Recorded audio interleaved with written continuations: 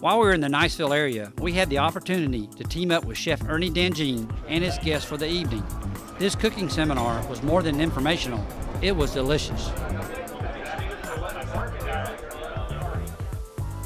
Right on the top, and that is naturally New Orleans right there.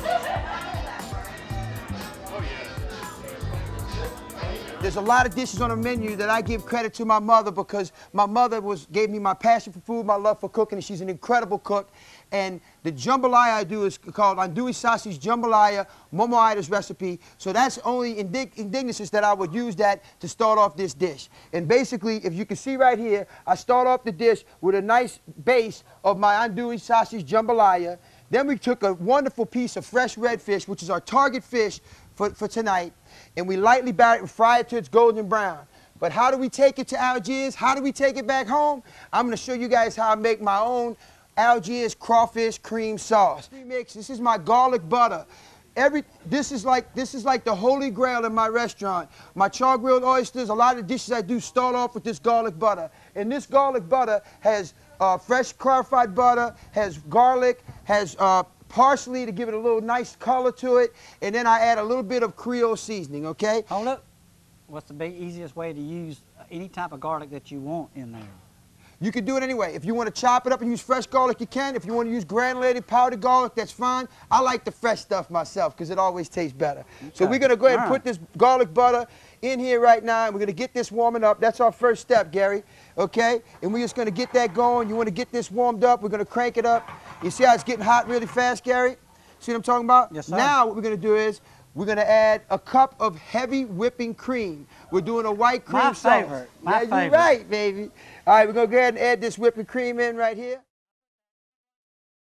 And everybody knows about a roux, right? A roux is a flour water based mixture. And normally, here you go, you Gary, talk, keep stirring talk, that. And normally I use a roux when I'm doing a brown sauce, like a gumbo, like an etouffee, like a jambalaya. We use, we use a brown roux for that. A slurry is actually a term for a cornstarch and water um, thickening um, um, ingredients. Right, and basically, when I do a brown sauce, I use roux. When I use a white sauce, I use a slurry. And the reason I like to use a slurry is you can reduce this down and it'll thicken up. But if you use a slurry, the cornstarch brings it all together and makes it real creamy and really stick, like it's going to stick and drizzle all over that fish.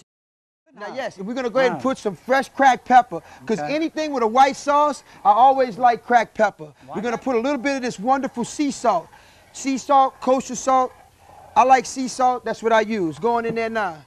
I'm using some fresh granulated Romano cheese right here, right now. And that's going to bring it all Why- together Why right there. Romano? I like the Romano. It's a little bit sharper than, say, Parmesan cheese. You could use Parmesan cheese if that's all you have at home. The fresh Romano is a little bit more expensive, but I like it. It's got a good flavor. It's sharp. It's nice. So, so if you're at the kitchen and that's all you got, you can use Parmesan. Absolutely. Just is a little cornstarch, a little water mixture right here. Okay, folks? And you just mix that up right there. Okay? And once you got this good and hot, you just pour that in. Okay? And now stir it around, Gary. It's going to be like magic. All of a sudden, you're going to see it start thickening up. You see what I'm saying? Just work a little bit. You see it thickening up, Gary? Yes. Oh, baby. Ooh, I'm doing a good job. Oh, oh baby. I'm it's doing a good going on. job. Look at that. The Slurry King, bud. The, The Slurry, Slurry King, King. from Fairhope.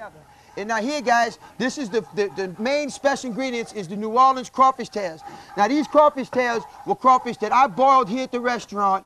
This isn't like the crawfish tails you buy in the grocery store that don't have any flavor. This was boiled in New Orleans crawfish ball and all the flavors and all that go with the crawfish. And that's what really brings the flavor in in this sauce. So now that you got your sauce creamy like you want it, you go ahead and add in those crawfish tails. Oh yeah, baby. Oh. It's All right, guys. It's a cook it show. Now here we go, guys. Look at that. And then we're gonna finish it off. Wait up, Gary. We're not done I'm yet. put it right here. We gotta go like this, give it a little color. Then we gotta go like that. Bang bang. And look what I'm talking about, guys. Hey, hey, that's naturally Algiers right there.